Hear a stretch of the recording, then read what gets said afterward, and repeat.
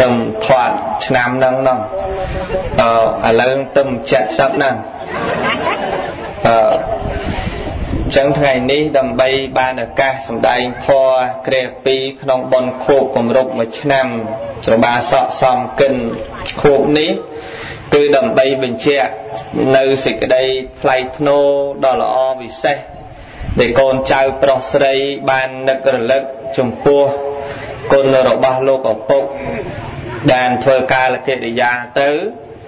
ហើយអ្នកម្ដាយទៅដែរអ្នកម្ដាយនៅនៅឯនិយាយព្រិចឯងនិយាយព្រិចហ្នឹងរត់លឿនអត់លឿនណាបើស្រុកខ្មែរឲ្យតែលឺព្រិចចឹងគ្មានយឺតទេញោមអឺព្រិចនិយាយព្រិចកូនចៅបានធ្វើជូនគឺជាកតបកិច្ចកតបកិច្ចហ្នឹងរបស់កូនប្រុសរបស់កូនស្រី ធម្មតាគ្រប់កូនទាំងអស់ញោមទូទាំងពិភពលោកបើរាប់ចំពោះអ្នកកាន់ប្រសាសនា គឺពុទ្ធសាសនានេះកាលណាមេដាបេដាស្លាប់ទៅ គឺត្រូវតែធ្វើបន់ជូននឹងថ្មមិននិយាយពីសាសនាគេទេនិយាយពីសាសនាពុទ្ធកាលណាមេដាបេដាស្លាប់ទៅធ្វើបន់ជូន បើមិនធ្វើទេមិនដើរតួជាកូនកតញ្ញូទេព្រោះនៅក្នុងសង្ឃៈធររបស់កូនទី5គឺតក្ខណងអនុបតេសាមីក្រោយពេលដែលបេដាបេដាស្លាប់ទៅកូនដើរតួជា អ្នកធ្វើតក្ខណានុបទានទៅទិសជូនចំពោះដល់មេដាបេដាញាតិញោមពុទ្ធបរិស័ទខាងថ្មពេជ្រត្បូងឃ្មុំ ញោមណាក៏ចង់ឲ្យកូននឹងដឹងគុណដែរមែនទេញាតិញោមហើយមិនមែនឲ្យដឹងតែនៅរស់ទេស្លាប់ក៏ត្រូវឲ្យដឹងគុណដែរសំនឹងនឹងពាក្យដែលចាស់ចាស់គាត់ច្រើនតែលើកឡើងនិយាយគាត់ថាចិញ្ចឹមកូនទុកកៃលោធំឡើងបើមិនបានអីក៏បានកូនធ្វើបន់ទៅទិសឲ្យចាស់ចាស់ច្រើននិយាយអញ្ចឹងហ៎ ចឹងញោមសាកសំណាងហើយមានកូនទៅទិសឲ្យបាទអាត្មាពីរអង្គនេះចៃដន្យបើងាប់អត់កូនទៅទិសឲ្យទេញោមបើពឹងបាសិកាកំពុងចាមប្រហែលអ្នកហ្នឹងមិនដឹងយ៉ាងម៉េចដែរទេ បាសិកាកើតស្រុនសំណាងស្រីពៅអីអ្នកគ្រូហែមសូណាតអីនឹងចាំមនុស្សថៃគេសគុតទៅញោមបើគឺសំណាងណាស់ ដែលមានកតបកិច្ចកូនប្រុសកូនស្រីហ្នឹងគឺដើរតួជាអ្នកបំពេញនៅតក្កណានុពទានតបនៅគុណោបការៈគុណរបស់លោកអ្នកមានគុណអស់ថ្មនៅក្នុងពុទ្ធសាសនាយើង គឺសំខាន់ត្រង់ចំណុចដឹងម្យ៉ាងទៀតនៅក្នុង ព្រះរាជាណាចក្រកម្ពុជាយើងនេះមិនដូចបណ្ដាលប្រទេសគេទេប្រទេសខ្លះកូនបាននៅដិតដល់ជាមួយមេដាបេដាទេកូនត្រូវរកទទួលទានចិញ្ចឹមជីវិតមេដាបេដាត្រូវទៅនៅមណ្ឌលចាស់ជរាអញ្ចឹងទៅ ខ្វះភាពកក់ក្ដៅខ្វះភាពស្និទ្ធស្នាលជាមួយកូនប្រុសជាមួយកូនស្រី តែដែលឡៃកម្ពុជា គឺទៀមទាត្រូវការកូនប្រុសកូនស្រីនឹងជាអ្នកទំនប់បំរុងសពគេសពពេលបាទតែដែលយើងអាចធ្វើទៅបានហ្នឹងអាស្រ័យទៅលើយើងមានកតបកិច្ចជាមនុស្សដែរយើងមានទ្រព្យសម្បត្តិដែរយើងមានសទ្ធាដែរបើបើសិនមានតែខ្លួនតែជាកូនតែមិនមានសទ្ធាសម្រាប់ធ្វើទេក៏ធ្វើអត់ចេញ មែនមែនញាតិញោមតើព្រោះកូនមានច្រើនណាស់ម៉ែឪស្លាប់ទៅណាក៏ស្លាប់ទៅអត់ខ្វល់ចឹងក៏នៅតែអត់ប្រយោជន៍ដែរបើសិនជាកូនដែលល្អកូនដែលប្រសើរកូនដែលដែលជាអ្នកមានសទ្ធាចុះដែលអាចធ្វើទៀនទៅកើតដែលអាចចេញទៅជាទៀនតើព្រះសម្មាសម្ពុទ្ធព្រះអង្គសម្ដែងមានប្រមាណហេតុប្រមាណប្រការប្រមាណយ៉ាង ដែលយើងអាចធ្វើទៀនទៅកើតក្នុងន័យបណ្ដេះចង់លើកប្រកេនទៅប្រគុណចាស់ព្រះអង្គសក្យមនីពុតតោជាសមាលាដើម្បីបញ្ជាក់តើដែលអាចធ្វើទៀនទៅកើតតើព្រះសម្មាសម្ពុទ្ធព្រះអង្គសម្ដែងទៅដោយធម៌អីខ្លះសូមរតនានិមន្តសូមអនុមោទនានមោតស្សៈភេកវតោអរហតោសម្មាសម្ពុទ្ធស្សៈ នមោតស្សៈភេកវតោអរហតោសម្មាសម្ពុទ្ធស្សៈនមោតស្សៈភេកវតោអរហតោសម្មាសម្ពុទ្ធស្សៈអ្នកមត្ថរតនតយសៈខ្ញុំប្រករុណាសូមនមស្ការក្រាបថ្វាយបង្គំចំពោះព្រះរតនត្រ័យ មានព្រះពុទ្ធរតនៈមួយព្រះធម្មរតនៈមួយ និងព្រះសង្ឃរតនៈមួយ ដោយសេចក្តីគោរពនិងដោយសេចក្តីជ្រះថ្លាកោតក្រែងដល់ក្រៃលែងទូលព្រះបង្គំសូមក្រាបថ្វាយបង្គំចំពោះសម្ដេចព្រះអគ្គមហាសង្ឃរាជសម្ដេចព្រះសង្ឃនាយក សម្ដេចព្រះសង្ឃនាយករងសម្ដេចព្រះមន្ត្រីសង្ឃព្រះរាជាគណៈគ្រប់ព្រះអង្គទូទាំងប្រទេស ដោយសេចក្តីគោរពកោតក្រែងដល់កំពង់ខ្ពស់ជាពិសេសព្រះមេគុណរាជធានីភ្នំពេញព្រះញាណវង្សខឹមសនដែលដោយសេចក្តីគោរពដល់កំពង់ខ្ពស់ផងដែរ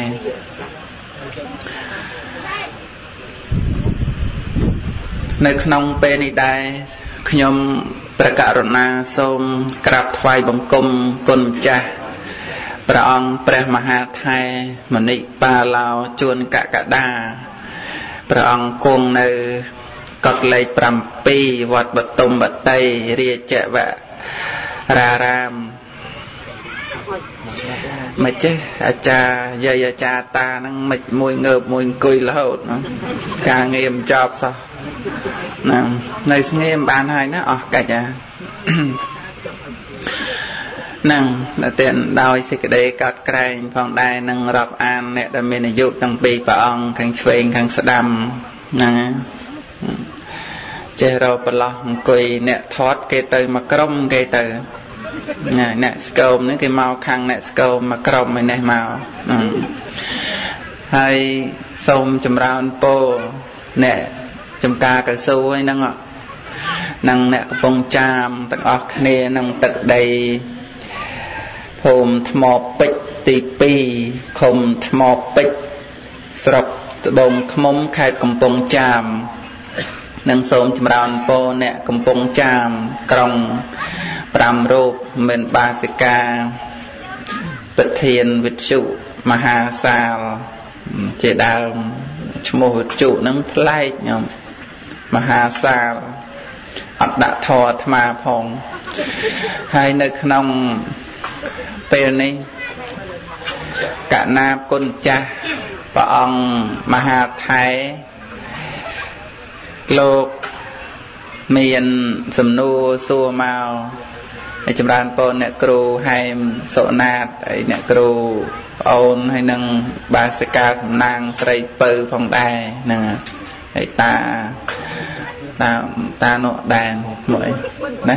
កងភេងហ្នឹងអញ្ចឹងលោកសួរថាម៉េចមិញហ្នឹងញាតិញោមថ្មពេជ្រទី2ហ្នឹងលោកសួរលោកសួរថាអ្នកធ្វើទៀនបានហ្នឹងដោយហេតុអីខ្លះលោកសួរអញ្ចឹងញាតិញោមប្រហែលជាមិនតាន់ដឹងឬក៏ដឹងខ្លះខ្លះ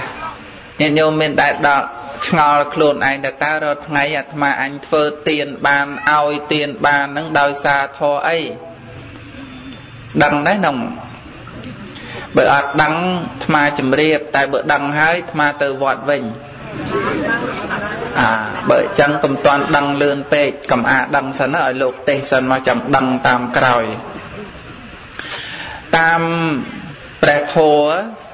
ព្រះអង្គទ្រង់ត្រាស់សម្ដែងមាន2យ៉ាងអអតុសមាន4យ៉ាងក៏មានមាន2យ៉ាងក៏មាន មានលើសពី4យ៉ាង2យ៉ាងហ្នឹងទៅទៀត6 7 8 9 10យ៉ាងក៏បានដែរបើឲ្យរាប់នឹងបានច្រើនបបហេតុនិងមូលហេតុដែលនាំឲ្យធ្វើទៀនបាននឹងទី1 ដោយសារមានជីវិតហៅថាកតិសម្បត្តិបានមកកើតជាមនុស្សជាស្រីជាប្រុសទុកបើជាអ្នកដែលក្រទ្របមានទ្របមន្ត្រីរាជការគ្រប់ស្ថាប័នលំដាប់ថ្នាក់ញាតិញោមរាជមន្ត្រីណានៃធ្វើបានឲ្យតែបានកើតក្នុងកំណើតជាមនុស្ស សត្វគោមិនដែលឃើញគោណាដាក់បាតលោក មិនដែលឃើញសុណក់ឆ្មាណាដាក់ទៀនមិនដែលឃើញសត្វស្វាណាធ្វើបន់បច្ច័យ4ទេញ៉េអត់ដែលឃើញសត្វពស់មកស្ដាប់ពធហើយធ្វើទៀនថ្វាយចង្ហាន់ប្រសង់ទេដូចជាសត្វខ្លាសត្វអម្រៃ សត្វសេះសត្វឃ្មុំអី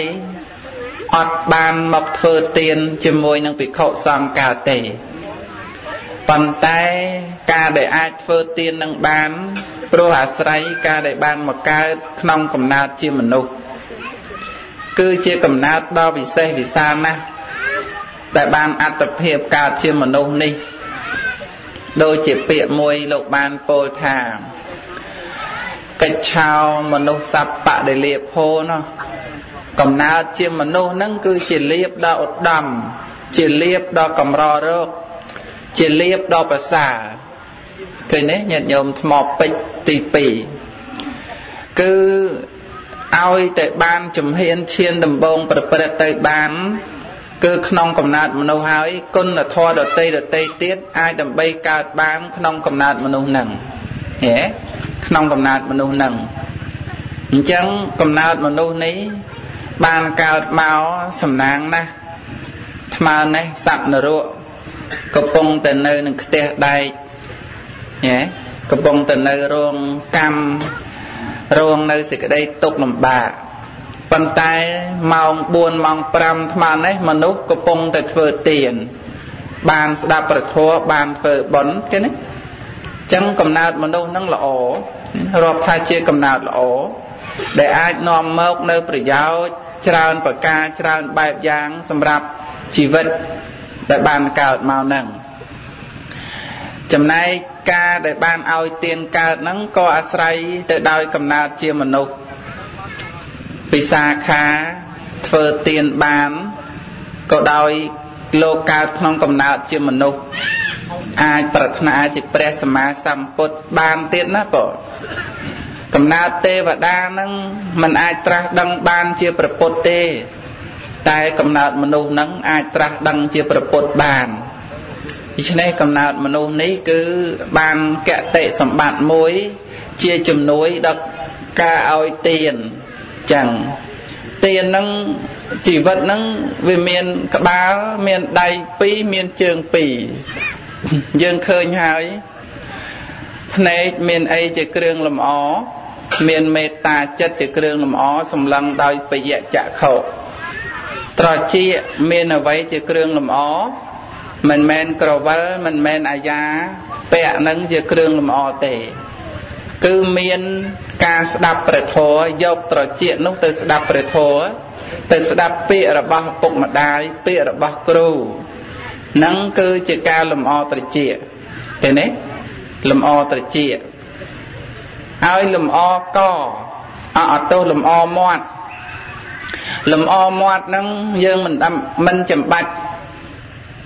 ថែមក្រែមមកគូសឲ្យវាក្រហមមកតាមផ្លូវច្រឡំមាត់តួទៀនជែកជៀនទៅវាបាត់ពណ៌ទៅបន្ទប់ទឹកថែមថែម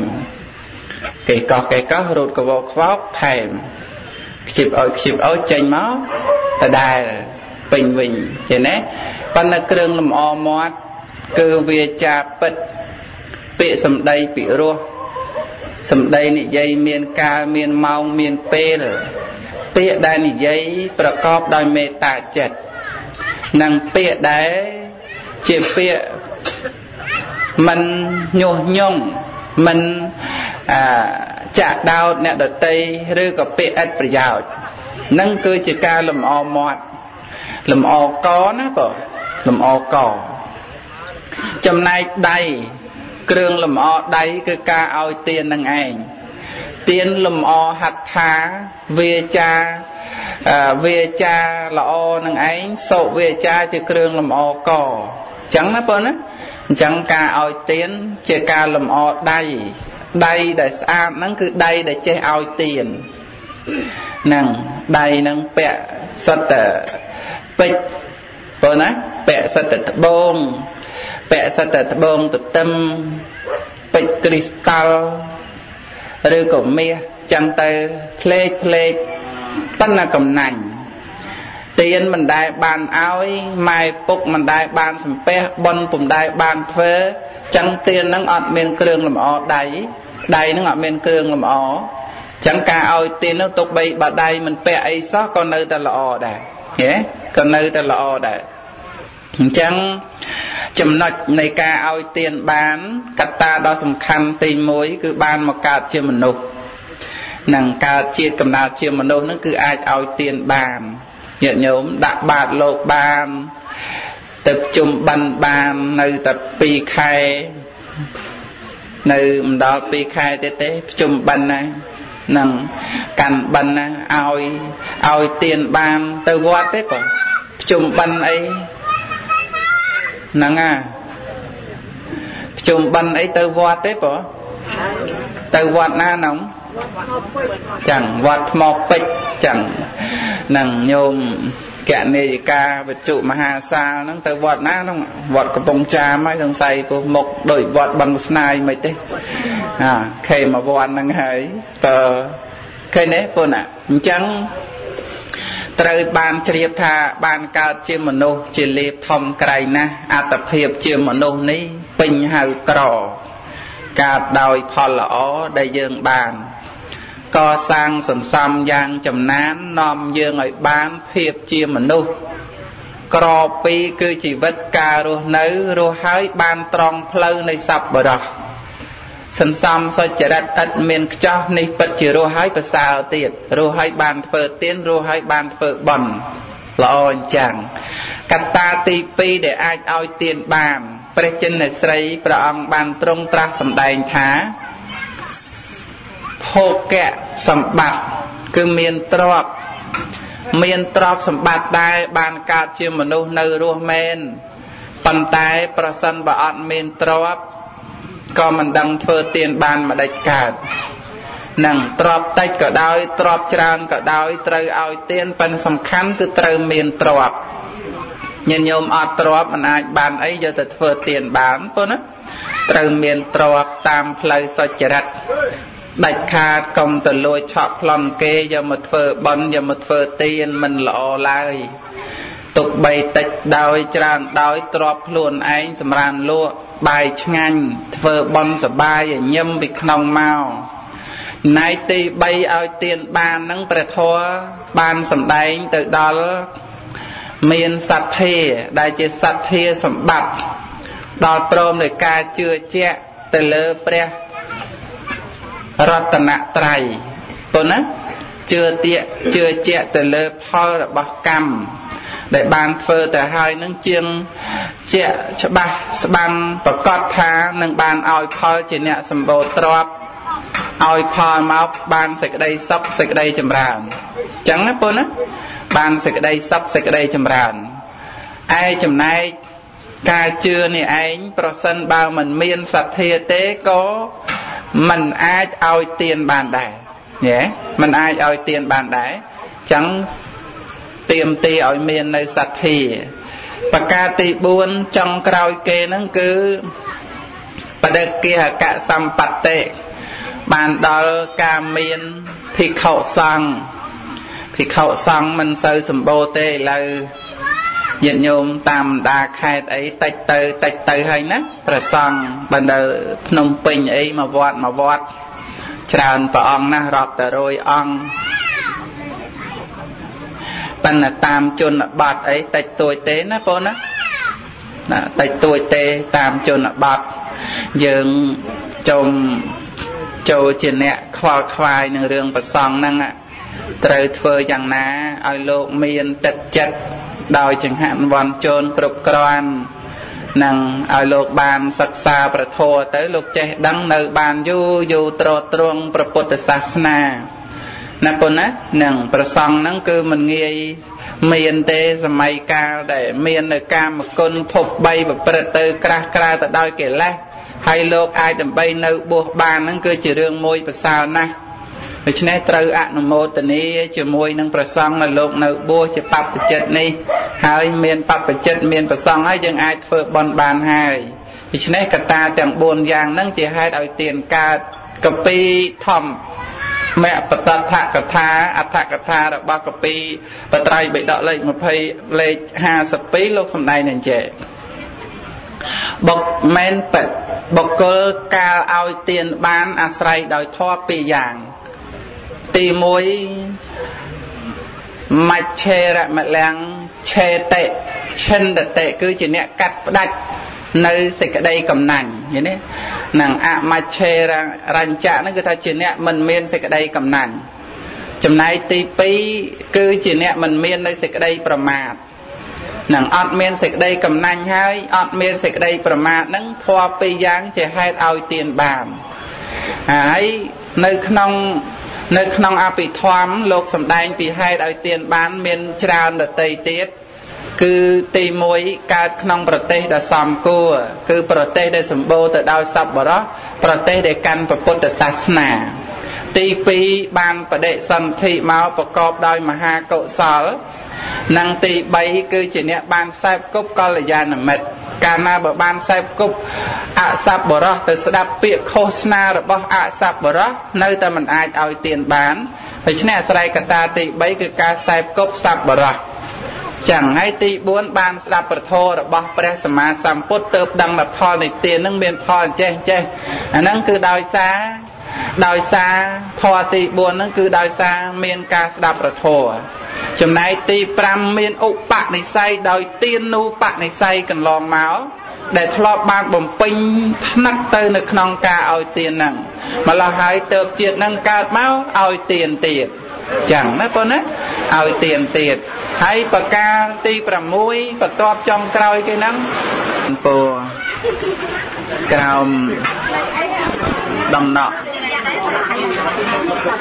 ទៅទៀតចឹងវាមិនតាន់ស្ងាត់ អិចេវមាចន្តនមាសណៃយ៉ាងនមាសមាណរតនតយ៉ាងយ៉ាងបញ្ញាវិសន្តវិបលាំងហលថង្តាំសានុភាវេនហតន្តរាយោឈប់មាត់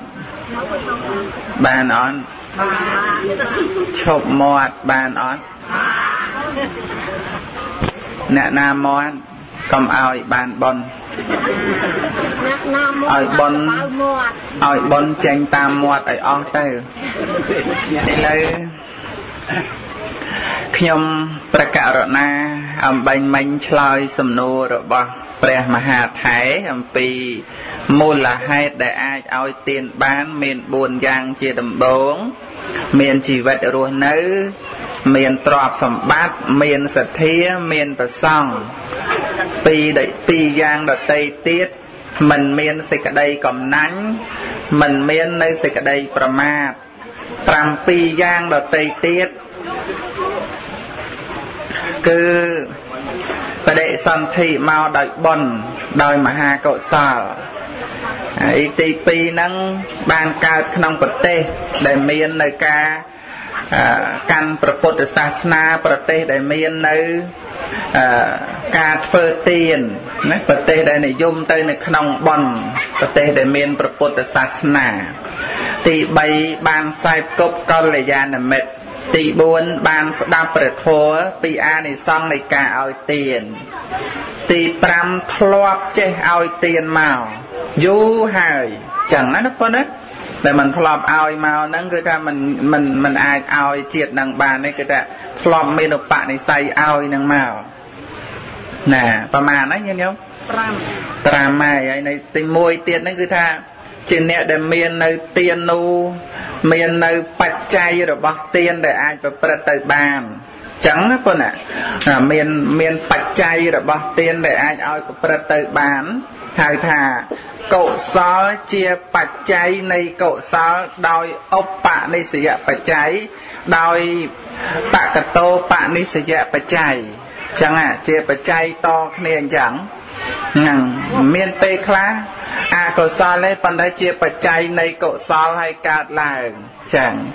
ហ្នឹងគឺថាដោយបកតោបនិស្សយបច្ច័យក្នុងទាននឹងឯងចឹងណាប៉ុណ្ណឹងក្នុងទានហ្នឹងហើយមួយយ៉ាងទៀតនោះជាការធ្វើតាមដំណតដំណែ ពីពុកពីម៉ែដែលត្រូវតែធ្វើអញ្ចឹងដូចពេលហ្នឹងអញ្ចឹងមានលោកឪពុកសំកិនដែលចែកឋានទៅដូច្នេះបំពេញកតបកិច្ចជាកូនគឺត្រូវតែឲ្យទានដល់ប្រសងឧទ្ទិសទៅនឹងទី7ហ្នឹង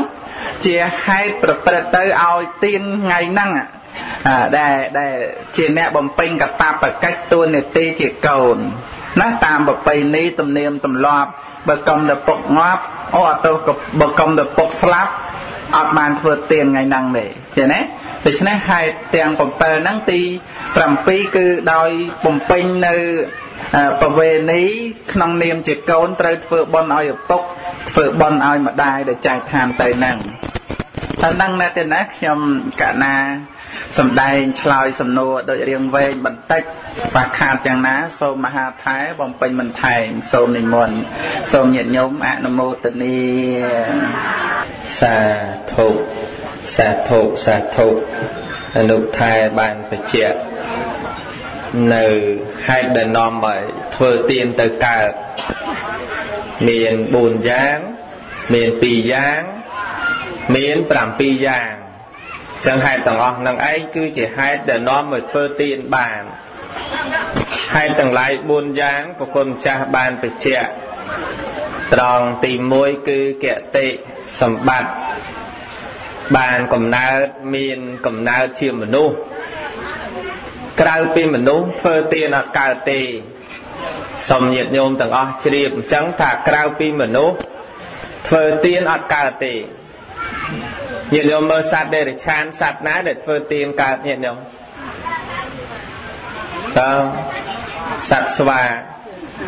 ធ្វើខ្មុំមកថ្វាយព្រះណាសត្វដំរីបំរើព្រះប៉ុន្តែនោះក៏នៅធ្វើទានមិនកើតដូចមនុស្សចឹងដែរ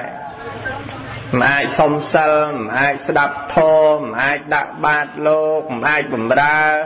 មិនអាចធ្វើនេះធ្វើនោះដូចមនុស្សហើយយើងណែជាមនុស្សបានកតិសម្បត្តិសម្បត្តិជាមនុស្សបើយើងប្រៀបធៀបទៅលើសត្វដេរិឆានអត់អត់មានពេលដូចយើងទេញោមតើស្ដាយមនុស្សពេលខ្លះកើតមកអត់ដែលចេះធ្វើទៀនទៀតតើមានជីវិតហើយអត់ដែលចេះធ្វើបុណ្យក៏មាន ចឹងសំខាន់ណាស់ត្រង់ចំណុចទី1នេះយើងបរិបូរជាកតិសម្បត្តិ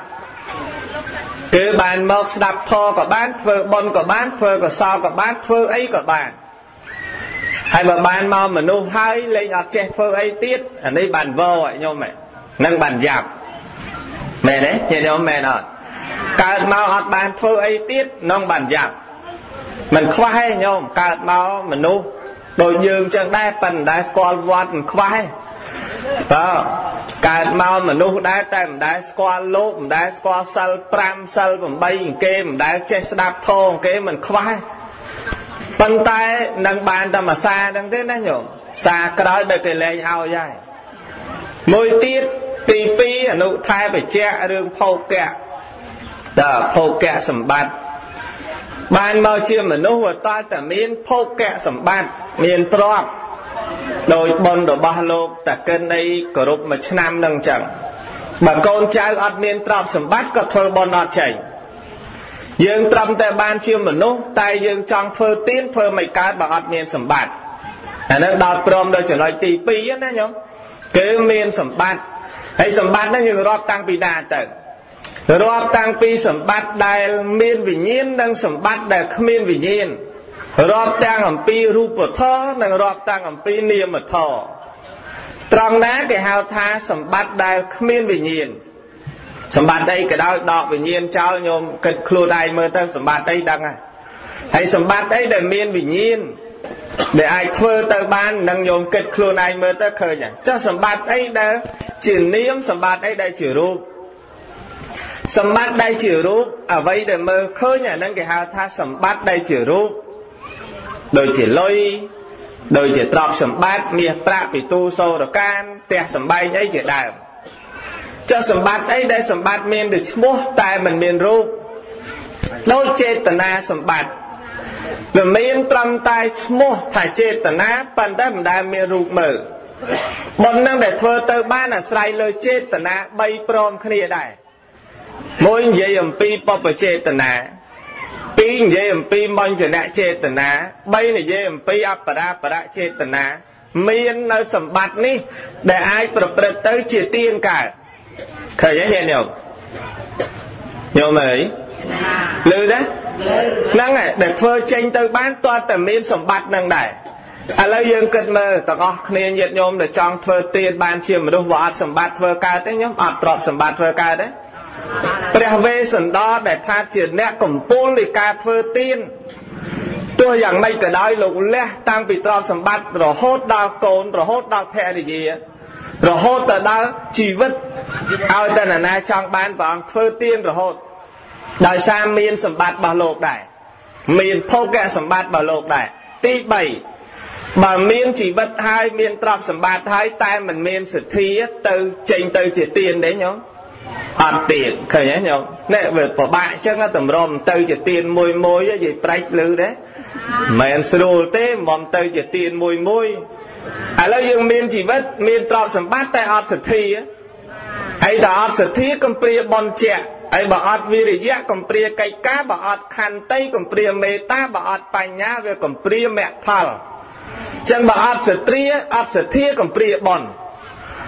កាលណាអត់សទ្ធាបនប្រកាសជាកំព្រាហើយ ខ្វះហើយបនចាំបើមានតែជីវិតមានតែទ្រព្យសម្បត្តិតែសទ្ធាអត់មានលៃធ្វើទានយ៉ាងម៉េចកើតឥឡូវញាតិញោមមើលហើយសួរតែអ្នកអ្នកដែលមានទ្រព្យសម្បត្តិខ្វះណាស់ទៅញោមមកខ្វះទេញោមម៉ាយច្រើនណាស់ប៉ុន្តែគេមិនធ្វើគេគ្មានសទ្ធាខ្លះគេនិយាយទៀតឃើញលោកឥឡូវអស់សទ្ធាលីងទៅមក លោកក្មេងក្មេងឥឡូវអស់សទ្ធាលីងទៅមកមានទ្រពជីវិតគេមានប៉ុន្តែគេអត់សទ្ធាជាមួយជាពិសេសឮព័ត៌មានលោកខូចខូចអីចឹងទៅលោកក្មេងក្មេងឥឡូវខូចទាំងអស់មកទាំងអស់ចឹងទៅចឹងវាអត់សទ្ធាជាមួយអត់សទ្ធាជាមួយធ្វើទៀនក៏អត់កើតដែរចឹងវាព្រមគ្នាចឹងដែរណាញោមមានជីវិតមានទ្រព្យនិងមានសទ្ធាសម័យព្រះ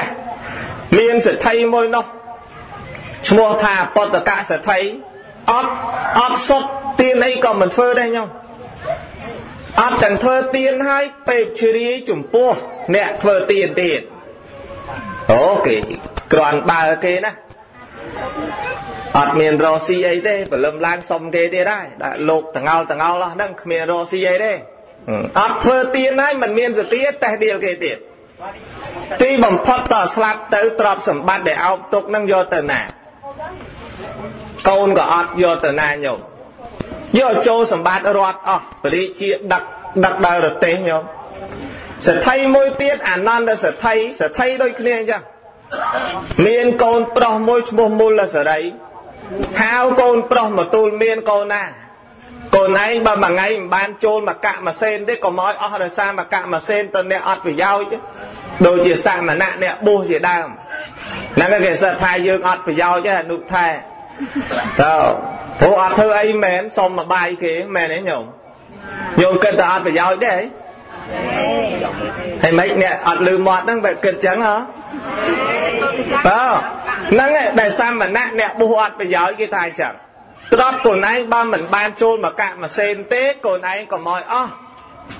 ទីបំផុតសល់ទ្របយកកប់ទុក5កន្លែងញោមក្នុងភូមិគ្រឹះរបស់សទ្ធិតើតែស្លាប់ទៅអា5កន្លែងហ្នឹងយកទៅអត់បាន5កន្លែងយកទៅអត់បានបែរជាស្លាប់ទៅយកបានតែផលបាបផលបាបបញ្ជូនឲ្យទៅកើតស្រុកមួយមិនឆ្ងាយប្រមាណពីក្រុងសាវត្ថីមានចំនួនតែគ្រួសារ1000គ្រួសារ ហើយស្រុកហ្នឹងតកើតទៅវាមានមុខរបរតែពីរមួយដើរសុំទានគេពីរដើរស៊ីឈ្នួលគេញោមអត់មានអ្នកសទ្ធិមួយទេមុខរបរមានពីរទេសុំទានគេមួយស៊ីឈ្នួលគេមួយតកើតមុខក៏វាអាក្រក់ស្អីក៏ដល់អត់ចូលទៅដល់ភ្លាមចង្រៃគេអ្នកសុំគ្រប់គ្នាអស់ថ្ងៃដែលចូលចាប់កំណើតអ្នកសុំទៀនធ្លាប់ប្រសុំបានចូលទៅចាប់កំណើតគេសុំលេខបានអស់ នេះអាអត់បុណ្យនេះទៅដល់ចង្រៃទៀតទេញោមអើញោមប្រៃលឺអត់អត់បុណ្យហើយចង្រៃទៀតកើតមកពេលដែលយកកូនទៅតាមម្ដាយនោះយកកូនទៅទៅតាមដើរសុំគេសុំអត់បានទុកកូននៅផ្ទះទៅសុំខ្លួនឯងបានយកកូនទៅតាមសុំអត់បានតើបានអីមកវិញញាតិញោមមើលទៅចង្រៃគេឲ្យទីបំផុតម៉ែត្រូវបដិញកូនចេញ កូនឯងឥឡូវទៅតាមផ្លូវកូនឯងទៅអាចដើរបានអាចសុំគេបានទៅសាវត្ថីទៅគេចាក់អាហារចាក់អីចោលកច្រើនណាស់ទៅរើសទៅអីទទួលទានអាហ្នឹងទៅម៉ែនេះបែបនៅជាមួយកូនបានទេចង្រៃណាស់សុំអីក៏គេមិនអោយដែរក៏ដើរមកតម្រង់សាវត្ថីដល់ចំណុចផ្ទះខ្លួនឯងធ្លាប់កើតហីសុំគេទៅអីឯងសទ្ធិដែរទៅសុំគេទៅអីគេចាំជាតិដល់ញោម ចូលទៅផ្ទះគេនឹងទៅទៅចូលនៅផ្ទះកូនមូលសរីវាត្រូវចៅវាអតីតជាតិចូលទៅឃើញចៅអសើចដាក់ចៅចៅឃើញតែយំពេញផ្ទះញោមចុះតាមមុខអត់ដូចមុនណោះតាមមុខដូចបីសាច់ណាណាមិនយំណាញោមណោះនេះប្រយ័ត្នដែរញោមប្រយ័ត្នទៅជាឆ្មាញោមឲ្យតែកំណាញ់អញ្ចឹងឆ្មាគេអាំងត្រីអាំងទុកឲ្យប្តីគេឯងនេះទៅយកត្រីអាំងគេក្រែងលោហ្នឹងថ្មាឧទាហរណ៍ទេ ចៅយំអស់មកភូមិរហូតដល់តំណែងដឹងដល់អ្នកអំរាគេវាយយងគេទាត់ផងអូសយកមកចោលកំណរសម្រាមនៅមុខមុខភូមិគ្រឹះគេទៅព្រះបរមសាស្តាព្រះអង្គនិមន្តទៅបិណ្ឌនិមន្តទៅបិណ្ឌបាតព្រះអានន្ទជាបច្ឆាសាមណៈបច្ឆាសាមណៈព្រះអង្គសួរមនាលអានន្ទឃើញទេណោះក្មេងនៅលើកំណរសម្រាមបបិទ្ធព្រះអង្គឃើញក្មេងនឹងឯងគឺជាអានន្ទសទ្ធិ ការពីអតីតជាតិតហាមូលសរីមកចូលតហាមូលសរីមនាលអានន្ទសទ្ធិអ្នកឯងមានអីខ្លះបញ្ជាក់ថានេះគឺជាកូនរបស់អ្នកឯងកំណត់របស់អ្នកឯងភូមិគ្រឹះរបស់អ្នកឯងបបិទ្ធព្រះអង្គមាន5កំណប់5កន្លែងអញ្ចឹងទៅកោះមកកោះអស់ញោមកោះអស់យកទៅឲ្យកូនទេបញ្ជាក់ថាខ្លួននឹងគឺជាឪពុកជាបិតាពីអតីតជាអនន្តសទ្ធិ គេនៅឃើញអាណិតបាន5កន្លែងទៅហើយញោមកំណប់តែគេឲ្យបាយតែមួយពេលមួយឆ្អែតហ្នឹងគេដេញទៅវិញទៅព្រោះមិនមែនឪគេឪកាមុនផ្សេងឪឥឡូវផ្សេងអញ្ចឹងបានអាត្មាបញ្ជាក់ប្រាប់ញោមមានរឿងហ្នឹងបញ្ជាក់ថាទ្រព្យសម្បត្តិមានតែអត់សទ្ធាធ្វើមិនកើតទេអត់សទ្ធាគឺប្រកាសជាកំព្រាបនហើយលឺទេអ្នកថ្មពេជ្រលឺអត់ បើមានសទ្ធាតែអត់បដិគិអកៈក៏ធ្វើអត់កើតឥឡូវថ្មលើកឡើង4ហ្នឹងហើយអនុថែវជៈថ្មវជៈថែមមួយមានជីវិតពីរមានទ្រព្យសម្បត្តិ3មានសទ្ធាតែបើមានសទ្ធាអត់បដិគិអកៈអត់អ្នកទទួលចង់ធ្វើជាមួយប្រសង់ដើររកប្រសង់អត់មានសឹកអស់មកវត្តមកវត្តសឹកអស់ចង់រកអ្នកមានសិលអ្នកមានសិលលែងទៅសុំអស់ អត់មានបដគីអកៈអត់ដល់ព្រមញោមគិតមើលទៅបរិច្ចាគឲ្យអ្នកណា បើកលេចមើលលោកសង្ឃរមបានគិតយ៉ាងម៉េចចឹងហើយបានសម័យពុទ្ធកាលញោមដូចនាងប៉ុណ្ណាអីអ្នកបំរើគេសោះធ្វើនំកតុកាន់នំកតក់ដើរទៅហូបកំពង់ទឹកដើរទៅហូបកំពង់ទឹកប៉ុន្តែព្រះដ៏មានរូបនិមន្តបណ្ឌបាតគាត់គិតថាកាលដែលឯងមានទ្រព្យសម្បត្តិអត់បដគិអកៈ ជួបបដគិអកៈអត់ទ្រព្យសម្បត្តិឥឡូវទ្រព្យសម្បត្តិមាន ក្នុងដៃតេយទានមាន ក្នុងដៃបដគិអកៈក៏មានចឹងក៏មករំលងធ្វើទៀតចឹងបានស្មាននឹកឃើញត្រង់ហ្នឹងហើយបានទេសធរហ្នឹងឲ្យញោមស្ដាប់កាលណាយើងមានបដគិអកៈហើយក៏មកវាខាតតានលោកសង្ឃនៅមានញោមអីញោមអីមិនអួតតែចង់មើលលោកឥឡូវលែងមើលហ៎ បើអត់មើលក៏អត់ទៅងឹតទៅហើយនោះតើតានលោកសង្ឃនៅមានតែតិចទៀតលោកសង្ឃរលែងសូវបានណាញោមហេតុអីបានរលែងសូវបានមួយវត្តមួយវត្តមានតែ2 3អង្គ2 3អង្គតកគ្នាអំពេញអស់តែអំពេញសឹកអស់កនទៀតអ្នកស្រែអ្នកចំការនឹងទៀតព្រោះប្រសង់លែងសូវមានញោមលែងសូវបានជួបប្រសង់សទ្ធាមានមិនដឹងតែធ្វើទានវត្តណា ឥឡូវតាន់មានលោកនៅរូតទៅហើយទៅញោមមិនយូរទេយ៉ាងច្រើន200ឆ្នាំទៀតហ្នឹងសឹកអស់ហើយបើរូតទៅហើយតាន់ជីវិតយើងនៅមានតាន់កន្លែងដែលយើងអាចធ្វើទានទៅបានឥឡូវអាត្មាលើកឡើងប៉ុណ្ណេះប្រគេនអនុថែបន្តិចទៀតបើសិនជាយើងមានជីវិតយើងមានទ្រព្យសម្បត្តិយើងមានសទ្ធាហើយយើងមានបដគិអកៈតើយើងគួរធ្វើយ៉ាងម៉េចទៅបានឲ្យទានយើងបានបនច្រើន បើជីវិតមានណាទ្រព្យសម្បត្តិមានណាហើយសទ្ធាក៏មានបដគិអកៈក៏ជួបតែគួរនឹងធ្វើយ៉ាងដូចម្ដេចទៀតធ្វើទានយ៉ាងដូចម្ដេចទៅបានប្រព្រឹត្តទៅជាអានិសង្សច្រើនសូមរតនានិមន្តអនុថែបន្តទៀតអនុមោទនីផន្តេធេរៈបបិទ្ធព្រះមហាថែដ៏ចម្រើនណោ ចង់ដឹងពីរឿងការឲ្យទានទៅ បានបុណ្យច្រើន បានផលច្រើន បានអានិសង្សច្រើននឹងតើដល់ហេតុអីខ្លះធ្វើបុណ្យយ៉ាងម៉េចដើម្បីឲ្យបានបុណ្យច្រើនប្រកេនជូនចេការដែលឲ្យទានទៅបានបុណ្យច្រើន យើងតែងនិយាយថាបនច្រើនបនតិចចង់បញ្ជាក់តំណឹងជូនតិចអ្នកដែលគាត់កើតមកគាត់បានកូនកូនធ្វើបាបនឹងឈ្មោះថាគាត់នឹងឯងមានបនតិចបានប្តីប្តីមិនយល់ចិត្តប្តីនឹងកាចប្តីអត់មានសិល